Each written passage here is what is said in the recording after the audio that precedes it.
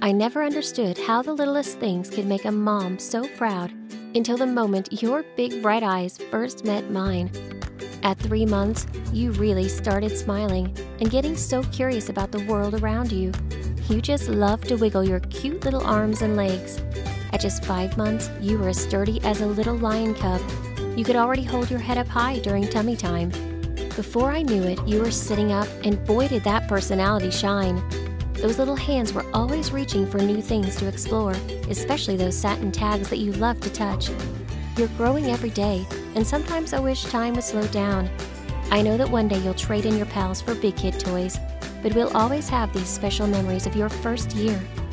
The lovable Lion Play Gym from Bright Starts, your baby's best pal from baby to big kid. Bright Starts, fun comes first.